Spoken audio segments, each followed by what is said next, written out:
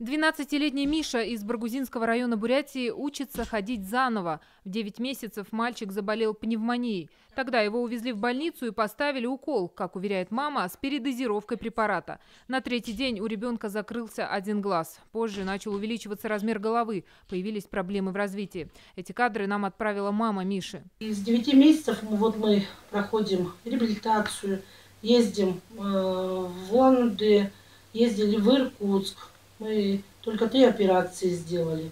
У Миши ДЦП, гидроцефалия шунтированная и атрофия зрительного нерва. В данный момент Мише нужна реабилитация. Цена вопроса 48 тысяч рублей. Надежда многодетная мама и не может собрать такую сумму. Реабилитация в Забайкальской клинике начнется 15 мая, и женщина всеми силами пытается успеть собрать деньги. Давайте поможем ребенку вернуться к нормальной жизни.